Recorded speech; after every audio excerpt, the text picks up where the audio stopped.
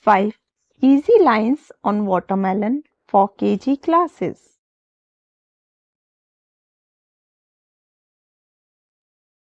My favorite fruit is watermelon.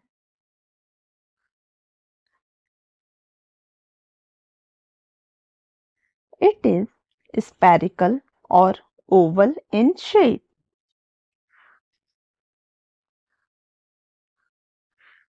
It is juicy and sweet in taste.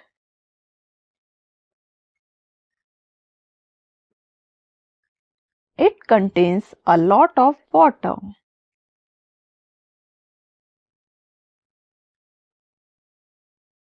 It comes in summer season.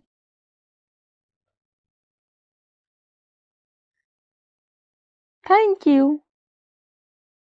Please like, share and subscribe for more videos. Thanks for watching this video.